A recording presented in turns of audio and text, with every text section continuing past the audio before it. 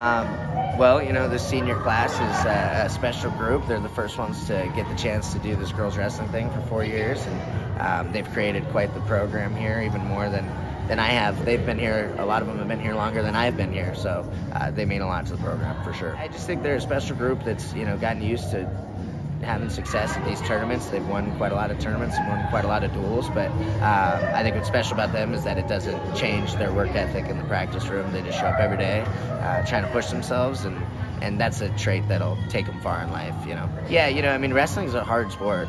like it's a hard sport all the time, right? Whether you're a guy or a girl or whatever it is. And I mean, to be a girl and decide to do this, you gotta like you got to be a special kid to be able to do it and be okay getting beat up a little bit and you know being okay being bruised and you know getting skin infections and whatever the case may be and so um, i mean i just think that says a lot that this was a brand new sport it was um, something brand new and they all tried it and have you know stuck with it and now have created this really awesome team that, that has a lot of success and has a lot of fun while doing it. it Feels good. Um, I'm proud.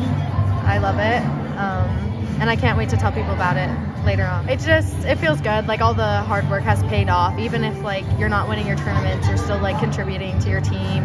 Um, it feels good to be the best team in the state. That's for sure. I we are very close as a team. Um, you can go up to anybody and just have a simple conversation with them, mess with them, and it's just fun. Like I love being on this team. It's really fun. It's um, it's really hard sometimes. I think it really helps with my character and just like hardworking stuff. And yeah, I've had a lot of fun these past few years. I think hopefully one day, I think it is a very fast growing sport and I think that'd be great if it did happen. I think we're all very tough girls. I've known these girls for a while and they help me, you know, stay in the sport. I wouldn't still be here if it weren't for them. So. Um, definitely, this is biased,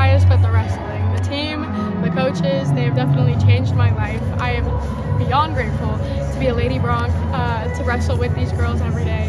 Um, it's definitely something I never thought as a kid that I would be a part of, but I am so grateful to have them and to be a part of this amazing team. Growth has been exponential. Um, we've definitely had our ups and downs for sure, but I mean, these girls show up every day. We work our butts off. I mean, these girls have worked for everything that they have earned, and I'm so, I'm just so grateful. Um, I think it's so special, and I'm so grateful for it. I think it's something that has really made me grow a lot as a person. I think it's also something so fun I can look forward to every day. Um, we're the first class that's been doing this since this since this became a sport in Montana, and uh, yeah, we're just we can have fun together whenever we whenever we can turn our frowns upside down and get through a hard practice. We get stronger together every day. Excited for state and to do the best I can and get ready, like find another level before college. It has been so crazy. We go from our first year not barely being able to find matches at some competition we go to, and now everywhere you go, you at least have three, which is a lot more than we used to have. Because we've really helped grow the sport at senior high and we've put in the work. We've learned the sport. We started not knowing a single thing, and now look how far we've come. Oh yeah, definitely. I can't wait to see the day that comes when there's more girls out for the sport than boys.